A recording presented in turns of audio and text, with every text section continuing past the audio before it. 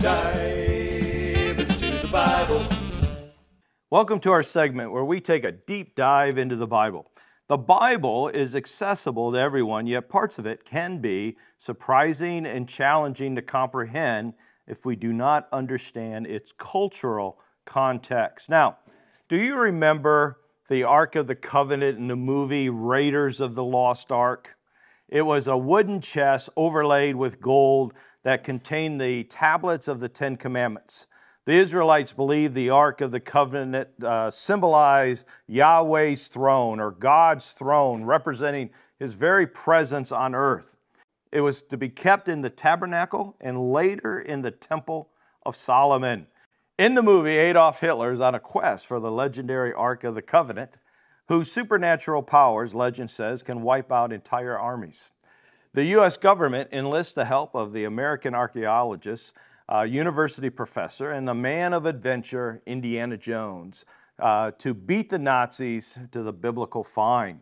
Now, as the movie progresses, Indiana Jones and an old girlfriend are captured, and they watch the Nazis open the ark, and as they do that, they are killed but Indy and his old flame survive because they kept their eyes closed. They did not look into the ark. Now, as the movie ends, the American government has the Ark of the Covenant.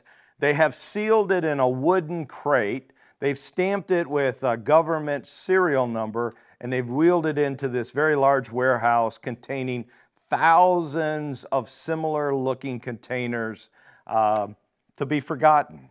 Uh, so, based on the movie, the Ark of the Covenant is in some crate somewhere in a governmental uh, warehouse someplace. All right? So, it's a fun movie to watch. It raises an intriguing question Where is the Ark of the Covenant today?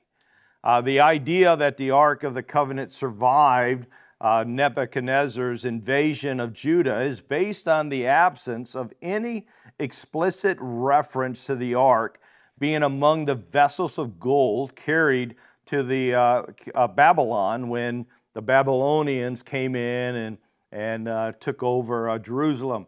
Uh, Nebuchadnezzar also took some of the treasures, it says in 2 Chronicles 36 7, uh, he took some of the treasures from the temple of the Lord and he placed them in his palace in Babylon. Now, likewise, the list of items brought back to Judah, found in Ezra uh, 1, verses 5 through 11, again, after this is after the exile, it again makes no mention of the ark. Therefore, since there's no mention of the ark uh, before uh, they were taken to exile, and then with stuff being brought back from exile, um, there's nothing said that the Ark of the Covenant was destroyed. People have resisted the idea that God would allow Nebuchadnezzar to destroy Israel's holiest object. Therefore, there are nearly a dozen theories as to how the ark has survived. Some of the theories come from biblical events. Perhaps Hezekiah gave the ark uh, uh Sennacherib as part of his tribute payment in 2 Kings uh, 18. It might have been removed by the faithful priests when Manasseh put an idol in the temple in 2 Kings chapter 21. Um, these are just ideas that, that they, some people think could have happened to the ark. Indiana Jones told millions that uh, Pharaoh Shishak took the ark to the city of uh, Tanis in Egypt, where he invaded, uh, when he invaded Jerusalem, which we find in 1 Kings chapter 14, verses 25 through 28.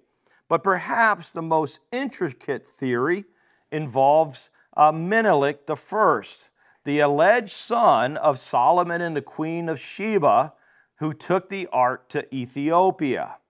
Other theories grew out of specific passages in the apocryphal texts.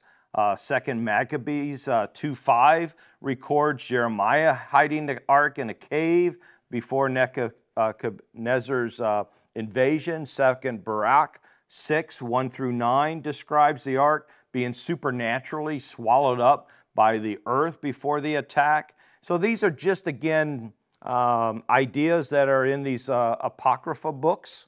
Um, however, the best explanation is that King Nebuchadnezzar cut the ark in, of the covenant into pieces with the other components of gold uh, as told to us in 2 Kings chapter 24 verse 13 where it says as the Lord had said beforehand Nebuchadnezzar carried away all the treasures from the Lord's temple and the royal palace. He stripped away all the gold objects that the king Solomon of Israel had placed in the temple.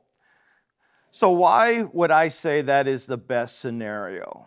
Well, because of what the prophet Jeremiah said in Jeremiah chapter 3, verses 16 through 17.